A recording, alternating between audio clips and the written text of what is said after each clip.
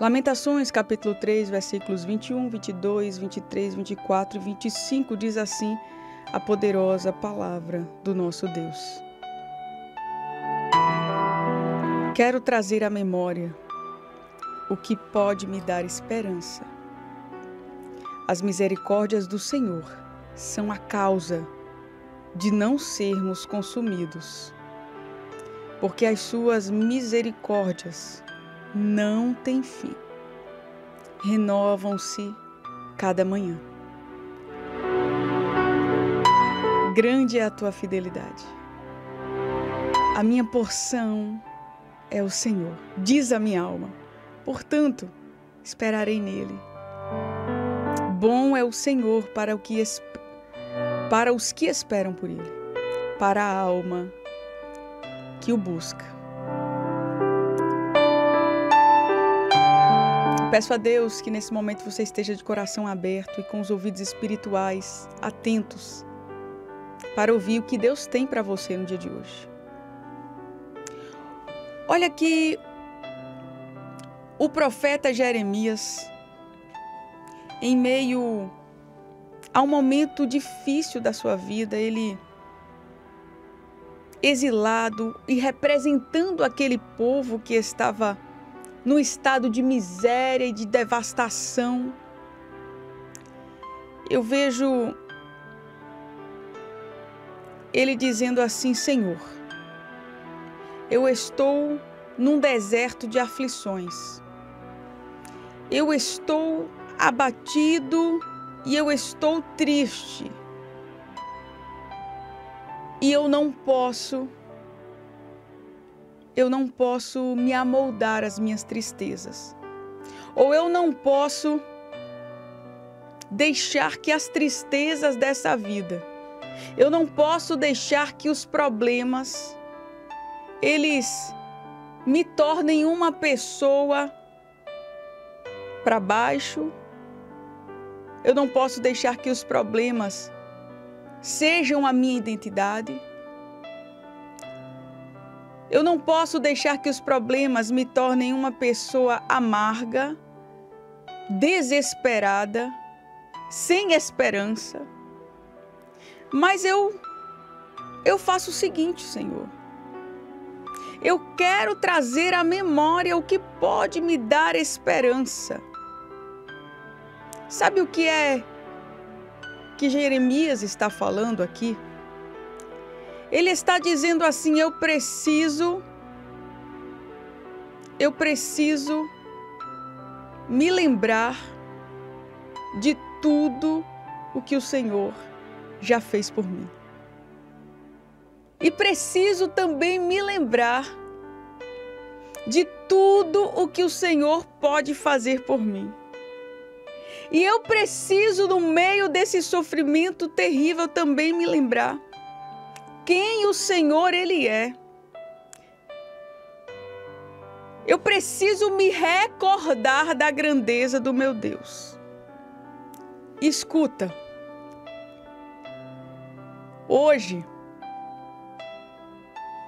eu particularmente, diante de muitos desafios que eu tenho para viver daqui para frente, eu estou falando eu, Clarissa Técio. Hoje pela manhã, eu acordei meio perturbada. E isso é algo natural para todo ser humano. Quando nós nos deparamos com as lutas, com as pressões, com as perseguições, com as calúnias, com algo que a gente ouviu que a gente não queria ouvir, com a cobrança que foi feita que a gente não queria ser cobrado. Não é assim? Com algo que a gente queria fazer você que está me ouvindo, você sabe como é isso. Às vezes a gente tem a sensação que a gente está fazendo tudo e que a gente não está fazendo nada, não é verdade? Quem sabe você aí é mãe como eu e trabalha como eu e, e, e é cristã como eu e tem que, e, e tem que é, cumprir uma série aí de obrigações. Você precisa cumprir seus compromissos como cristã. Você precisa ter o seu momento com Deus. Quem sabe você tem uma atividade na igreja, você precisa pregar o evangelho, você canta, você tem um, o, o, um grupo em casa de evangelismo, você precisa ir para os ensaios, enfim. Você tem o seu trabalho lá fora, você trabalha, você cumpre um expediente, você cumpre as expectativas do seu patrão. Além disso, você também é mãe. E você precisa cuidar desses meninos que estão dando trabalho, que precisam estudar e não estão estudando, que precisa tirar nota boa e não estão tirando, que a coordenadora está atrás de você para ter aquela conversa chata. Eita Deus! As contas a pagar! Chegou o final do mês, tá tudo difícil, a feira do mês já acabou, já tem que comprar mais coisas, a conta ainda não pagou, a conta de energia.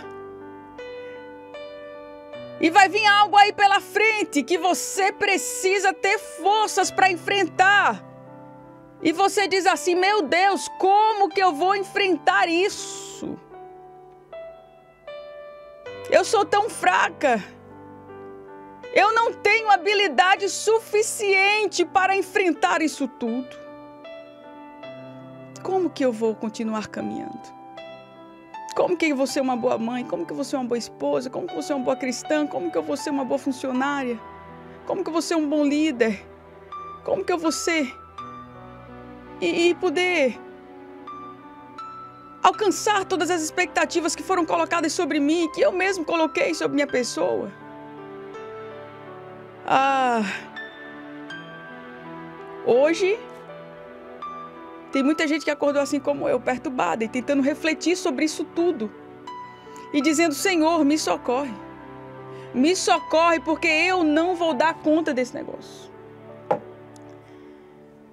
Jeremias estava vivendo um momento como esse, olhando para a sua vida e dizendo assim: Senhor, como está complicado. E ele começa agora a lamentar. O livro de lamentações de Jeremias, sabe o que é isso?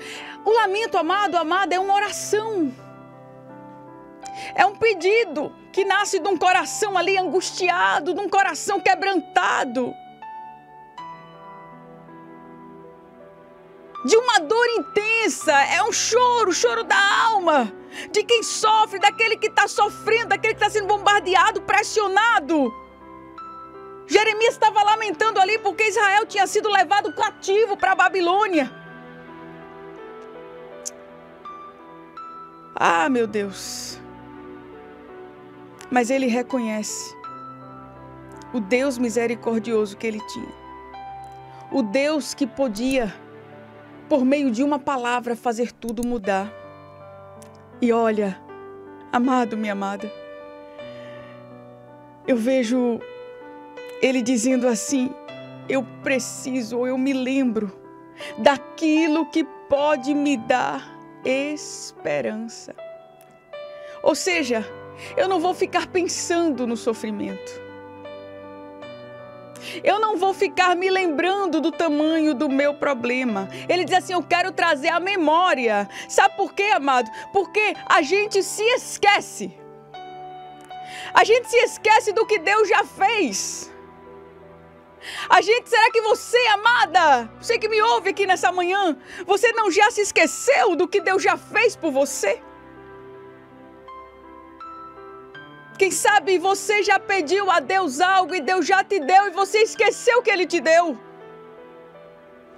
Quem sabe você já pediu a Deus uma cura, você foi curada e você já se esqueceu desta cura que Deus te livrou da morte.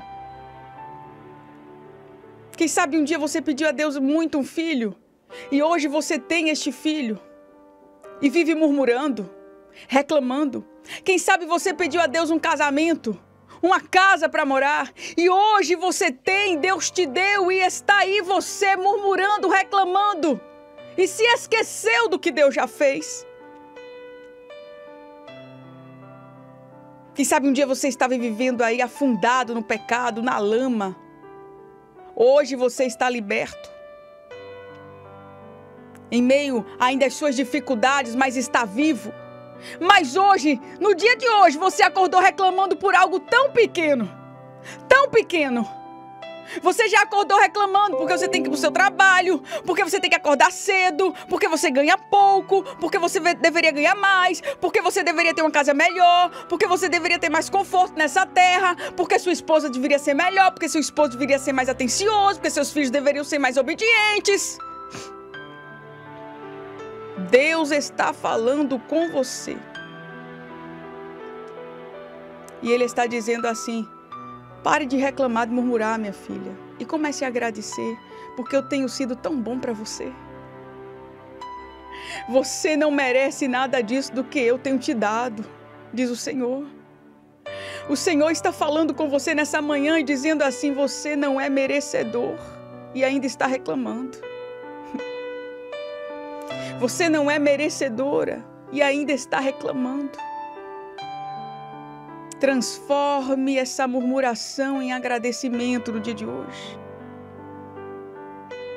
Quando eu me recordo do que Deus já fez, eu começo a transformar a minha murmuração, a minha reclamação em agradecimento.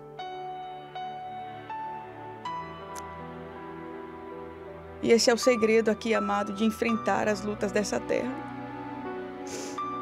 Jeremias disse assim: O que é que pode me dar esperança? Deixa eu me lembrar aqui, deixa eu pensar. Deixa eu pensar. Oh, tem muita gente me ouvindo aqui no dia de hoje que já não tem mais esperança. E que não consegue encontrar motivos para ter esperança. Sabe por quê? porque está olhando para as coisas daqui, porque quer colocar esperança nos homens. Quem sabe o teu filho está aí nas drogas e você está olhando para ele e não tem mais esperança. Deus está dizendo: minha filha, pare de olhar para ele e olhe para mim. Eu sou a tua esperança. Quem sabe você está aí com seu marido envolvido na prostituição, quem sabe no álcool, nas drogas também e você está olhando para Ele, por isso você não tem mais esperança. Deus está dizendo: olha para mim, porque eu sou a tua esperança. E eu não quero dizer aqui o que vai acontecer, porque eu não sou vidente. Eu não estou dizendo aqui que vai ser de um jeito, que vai ser de outro, que vai ser assim, porque eu não tenho superpoderes. Eu, Clarissa Técio, não tenho poder nenhum, não tenho bola de cristal, não posso dizer a você que vai ser assim, que seu marido vai, vai ser assim, que vai, que vai fazer de um jeito ou de outro, não, que seu filho vai acontecer de uma forma ou de outra, não. Eu sou aqui o que Deus me manda ser. Eu sou crente, eu acredito nas sagradas escrituras e eu acredito no Deus de Jeremias, no Deus da esperança. E eu posso dizer a você, te afirmar com toda a convicção nessa manhã: olhe para Ele, porque é Ele a tua esperança. Ele não te decepciona jamais, Ele não te abandona jamais. Ele vai cumprir tudo que Ele prometeu.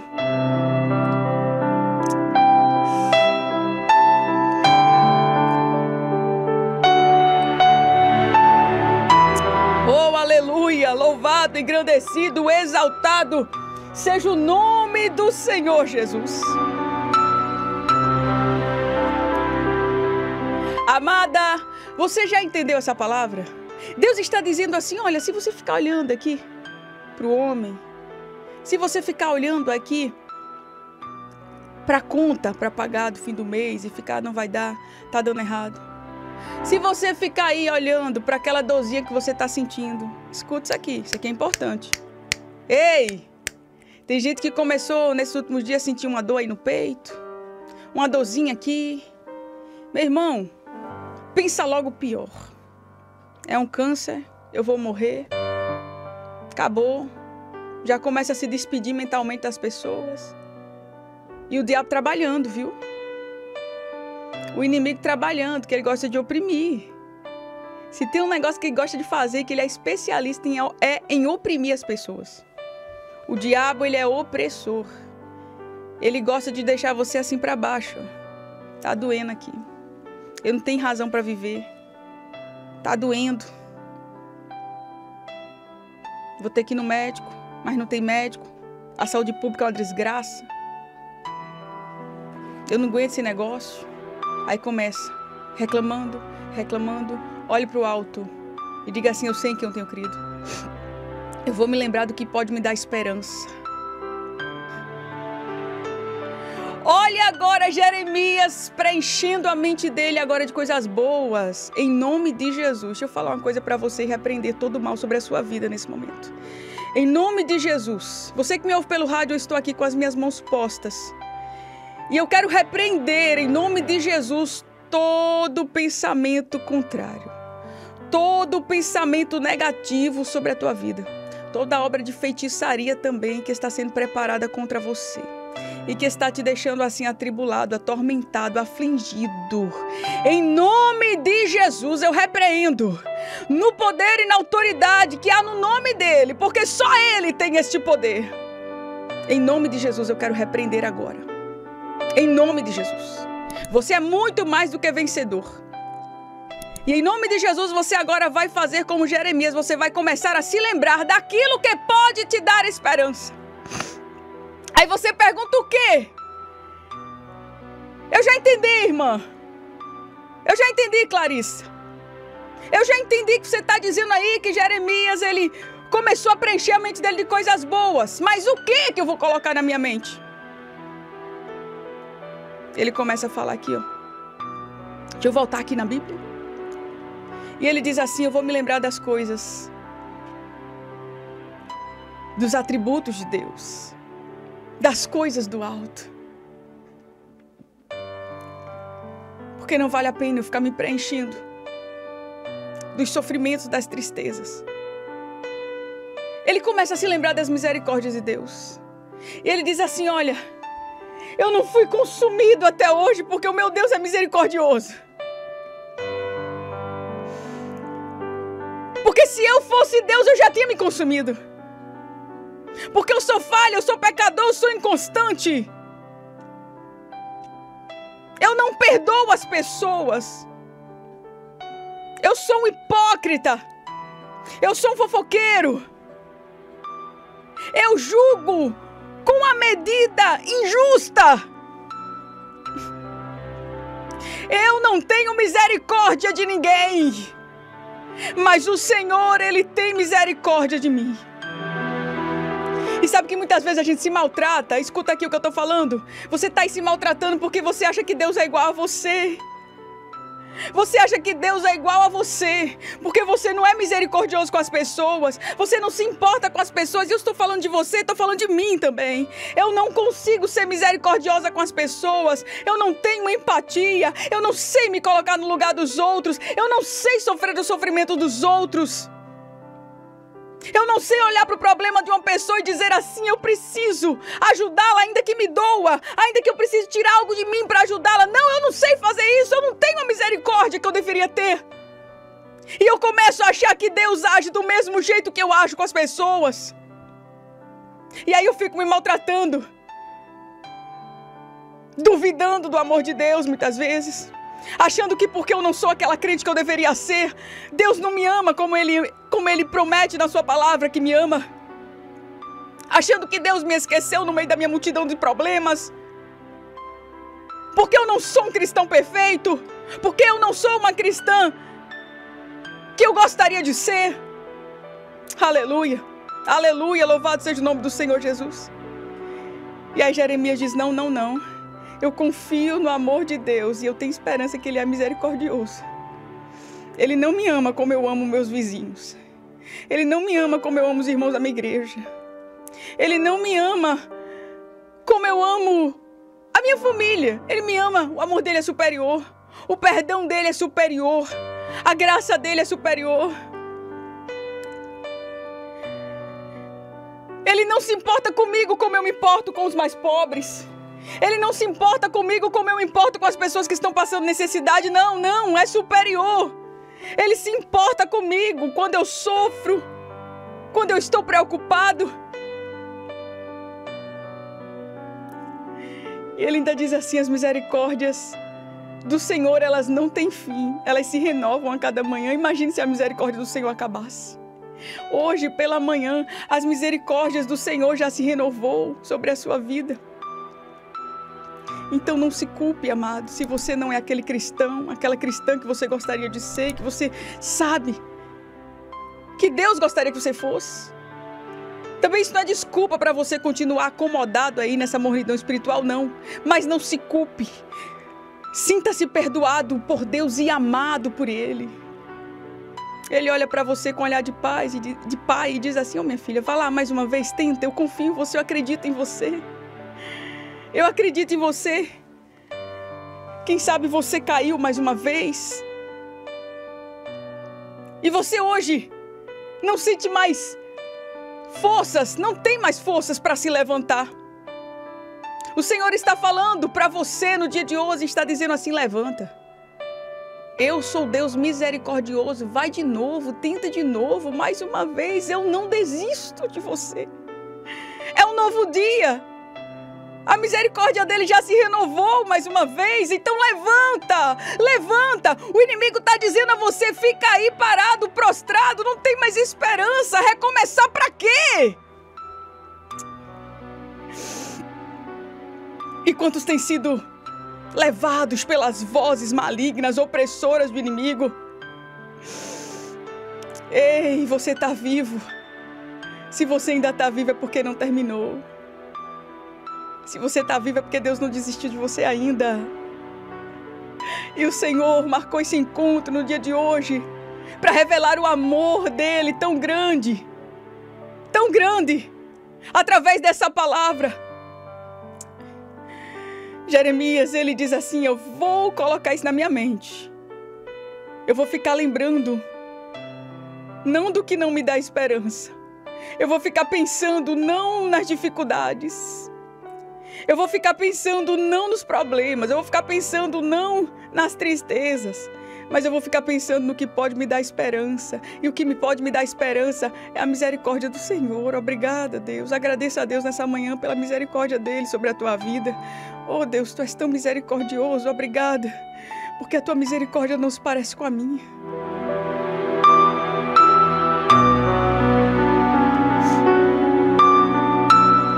Compartilhando essa live porque nós já vamos orar. E eu só estou terminando aqui essa palavra porque Deus ainda tem um negócio para falar com você. E aí ele diz assim: ó, grande é a tua fidelidade. Olha Jeremias se preenchendo de coisas boas. Olha ele fazendo uma verdadeira faxina na sua mente. Deus está dizendo, filha, você faxina aí a sua casa com tanto zelo, mas não tem cuidado da sua espiritualidade. Quando você vai fazer aquela faxina na sua casa, você levanta a cama, levanta os móveis, muda tudo de lugar e você vai com tanto cuidado, é a coisa mais linda do mundo, né? Você pega os pratos, lava, guarda. Aí depois você passa aquele, aquele desinfetante na casa, fica tudo tão cheiroso, tão lindo, arrumado. E que você olha assim e que você respire e diz: "Ai, como minha casa tá cheirosa e limpa, como é bom", mas você não tem cuidado da sua mente. Você não tem cuidado da sua espiritualidade. Você não tem feito essa faxina diária na sua emoção? Você está aí como Jeremias, vendo o seu povo exilado, em meio ao sofrimento. E você está aí, poxa vida. Como é que eu tenho um Deus? Como é que eu sou crente? Como é que eu sirvo a esse Deus? E está ali meu povo preso. Está ali o meu povo sofrendo, sendo sendo desprezado por Deus. Como é que Deus permite passar por essa situação? Não, não, não. Jeremias, ele. Deixa eu fazer um negócio aqui. Vamos fazer uma faxina. Porque senão eu vou morrer, eu vou adoecer, eu posso até negar minha fé. Aí ele diz assim: Eu vou me lembrar da misericórdia de Deus. Eu vou me lembrar da fidelidade de Deus. O povo está exilado, mas eu conheço o Deus a que eu sirvo. Eu estou passando uma luta agora, Mas eu sei que o meu Deus vai me abandonar, não. Uma hora ele vai se levantar ao meu favor. É necessário passar por tudo isso. É necessário passar por tudo isso. Será que você consegue ter fé suficiente nessa manhã para entender que é necessário você passar por tudo isso? Ou você acha que você sabe mais do que Deus? Você é mais conhecedor do que Deus, você tem mais sabedoria do que Deus. Grande é a tua fidelidade, Senhor. Ou seja, não é porque eu estou enfrentando essa situação que o Senhor me traiu. Eu confio que Ele é fiel. Eu traio as pessoas, eu prometo e não cumpro. O ser humano é assim. E a gente acha que Deus também é. A gente trai as pessoas. E eu não estou falando apenas de uma relação extraconjugal num casamento, não. A gente trai quando a gente diz assim, conta comigo, e quando a pessoa vem contar, vem pedir ajuda, a gente diz, eu não posso te ajudar, podendo ajudar. Você está entendendo? Claro que tem vezes que você não pode. Mas às vezes você pode, você não dá importância. Isso é uma traição. Porque você disse, conte comigo. E você disse, conte comigo para quê? Para se amostrar, foi? Você disse, conte comigo para quê? Para mostrar que você é uma pessoa boazinha? Você disse, conte comigo para quê? Porque você está acostumado a dizer conte comigo para todo mundo? A gente trai as pessoas, a gente decepciona. Nós não somos fiéis o tanto quanto deveríamos ser. Não honramos o que nós prometemos. Não temos cuidado com o que falamos para cumprir exatamente aquilo que falamos. Seja com o nosso cônjuge, seja com os nossos filhos, seja com os nossos votos que fazemos ali diante do altar e com os nossos votos para com Deus. Não honramos aquilo que nós prometemos. Não somos fiéis. E às vezes a gente quer olhar para Deus e colocar Deus na mesma proporção do que nós somos. Mas aí Jeremias ele fala: "Não, o Senhor, a fidelidade dele é diferente da dos homens. Ainda que nós sejamos infiéis, ele permanece fiel", diz a palavra de Deus. Então eu vou me lembrar disso que mesmo eu errando, mesmo eu falhando, mesmo eu não sendo aquele crente que eu deveria ser, mesmo eu não amando as pessoas como eu deveria amar, mesmo eu não perdoando as pessoas como eu deveria perdoar, mas o Senhor, ele permanece fiel a mim. Ele permanece sendo um Deus justo. Ele permanece sendo um Deus misericordioso. Ele permanece me perdoando. Grande é a tua fidelidade, Senhor. Ei, nessa manhã, se deleite na fidelidade de Deus. Saiba que Ele ama um amor superior ao amor da sua mãe. E mãe é aquela que vai na porta do presídio e diz assim: O meu filho é um menino bom. ele só foi enganado, foram as amizades, foi algo neste mundo que fez com que ele se perdesse. Mas o meu filho, ele é um menino bom. Você já viu alguma mãe dizer isso? O menino pintou a miséria, mas a mãe está lá dizendo: meu menino, ele é um menino bom. Porque a mãe acredita. Ei, Deus, ele não deixa de acreditar em você. Basta com que você abra o seu coração e diga: Senhor, me transforma. Eu não quero, Senhor Deus. Eu não quero ser o mesmo, eu não quero ser igual. Eu não quero continuar errando, eu não quero continuar falhando, eu não quero continuar murmurando, eu não quero continuar, Senhor Deus, sem liberar perdão. Eu não quero continuar sendo esta mesma pessoa que eu sou até hoje. Eu não quero, Senhor Deus, continuar intoxicado, com a minha espiritualidade destroçada, com a minha mente cheia de coisas negativas. Não, Senhor, eu preciso fazer essa faxina espiritual no dia de hoje e trazer à memória o que pode me dar esperança.